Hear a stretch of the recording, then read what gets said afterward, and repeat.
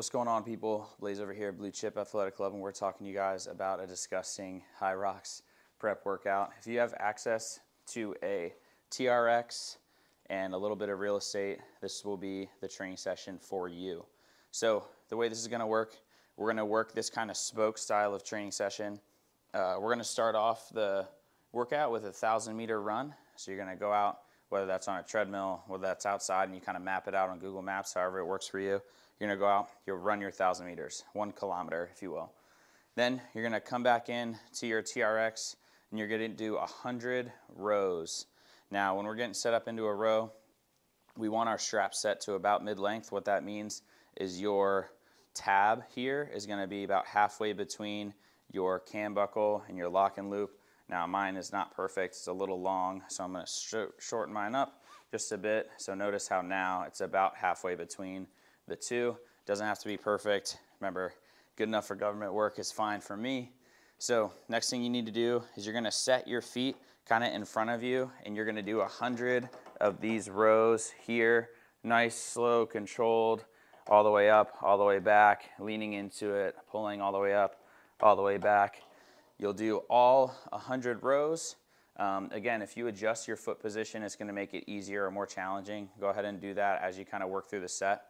Then after our 100 rows, we're going back out for our 1,000 kilometer, or excuse me, 1,000 meter run, not 1,000 kilometers, that'd be super far, uh, or one kilometer. Then you're gonna come back in, you're gonna do 100 chest presses. Now a chest press is essentially like a push-up where your hands are elevated and your feet are on the ground. So to show you this, I'm gonna have my hands here, my feet are planted here behind me. I'm gonna bring my hips with me, so it's gonna be pressed down here and then press up all the way and you're gonna work here for all 100 reps the whole time. After you do your 100 chest presses, you guessed it, right back outside for another 1,000 meter run. After that, you're gonna come back in, grab your TRX, and you're now going to set your straps here to about mid-calf. So for me, the way my mounting works, I need to basically extend these just a little bit so they're about the right length. So I set my straps mid-calf, approximately just below the knee. And now I'm gonna get myself into the straps toes in the TRX. The way to do that is you hold this uh, cradle here, like a pair of stinky socks up like this. You're gonna shove your feet in between the handles and where you're holding, and then you're just gonna flip your hips around. And what you want is you want that handle to be able to touch your heel as we get into this. So I'm gonna flip over, get ourselves into it.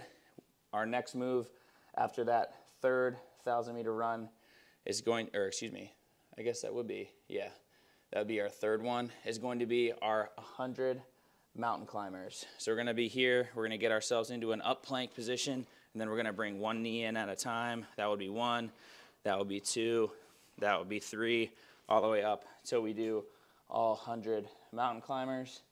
And then, you guessed it, we're right back outside for our 1,000 meter run. Last one there. And then we're gonna come back in and we're gonna do 100 hamstring curls in the TRX. So the distance on the straps will be the same. So it'll be about a mid-calf position. Uh, you shouldn't have to move them from the last time that you did the mountain climbers. And we're gonna do 100 hamstring curls. So to do this, I'm gonna lay back. I'm now gonna put my fingers into the cradles like a peace sign. I'm gonna keep them low, forming that kind of parabolic shape where it's opening up top. Look at that, that's a big word, parabolic. And now I'm gonna have my feet straight out in front of me.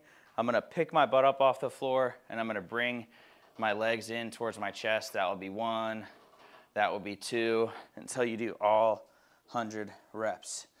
So that's gonna be the whole workout for today.